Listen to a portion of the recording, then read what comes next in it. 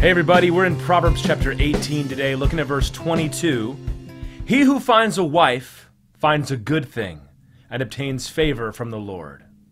He who finds a wife finds a good thing and obtains favor from the Lord. It's really no secret that the Bible honors marriage.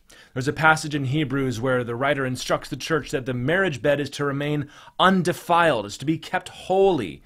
That in the book of Genesis, God brought Eve to Adam. He names her, and they, they then give that passage about leaving your father and mother and cleaving unto your wife, and the two becoming one flesh. Marriage is instituted by God. That's why you see it throughout humanity. It's been there from the beginning. It's something that God ordained. And we're living in interesting days where you're seeing an increase, especially among men, of the desire to abandon marriage, to not want anything to do with it, forget having a wife, forget having a family, just you know, pursue your career and and get some sex on the side. This is not good.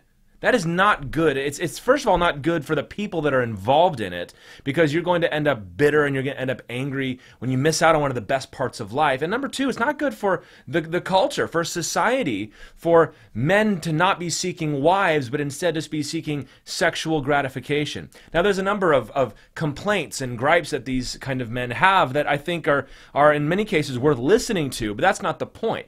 The point that we need to get today is that finding a wife Remember, Solomon's writing to his son. You could also apply this to a woman finding a husband. Finds a good thing. This is the, one of the most important things that a man is to do in his life is to grow up, make something of himself, marry a woman, raise children, have a family. And somewhere along the line, we we dropped that part of being a man. That now we say a man is somebody that continues in this this post-adolescent uh, frenzy of sexual activity, hookup culture, whatever you want to call it. Uh, but there's no transition to settling down, finding a finding a wife, raising children. Like a, a, man is somebody who raises children, who is able to manage a household. In fact, the Bible says if a man can't manage his household, then how can he be expected to manage God's church? Marriage is a good thing. It's something that grows up a man. It forces you, now there's somebody else depending on me. I better grow up. And so we need to remember this that finding a wife is a good thing, and the Lord blesses that. Malachi tells us that there is a portion of the Holy Spirit in the union between a husband and wife. But here's the issue we cannot try to restore marriage if we don't first try to restore the rest of this. If you say, I want to have a great wife and a great family and sleep around when I'm young too, well, that's very unlikely to happen.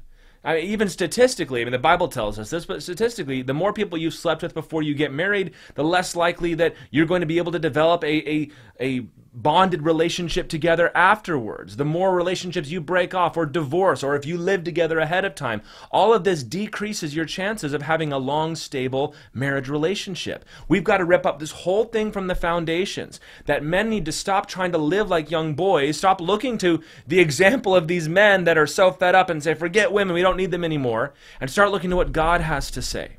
And this could also apply to the ladies, although we've been kind of going after the fellas today. Ladies, you need to make sure that you are conducting yourself in such a way that you are a blessing when your husband finds you. That you're not constantly hanging the, the threat of divorce over his head. That he knows that he can trust you. That you're not keeping him from his children or belittling him. That he knows this is something that he's found that is good. So, gentlemen, I'm encouraging you and I'm urging you. Not everybody's going to get married. Most people will. And I'd say most men should. If you're unable to control your sexuality, you need to get married. That's what Paul tells us in 1 Corinthians.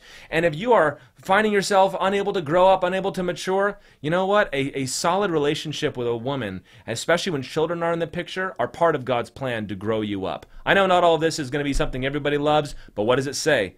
He who finds a wife finds a good thing. God bless you all. We'll see you next time.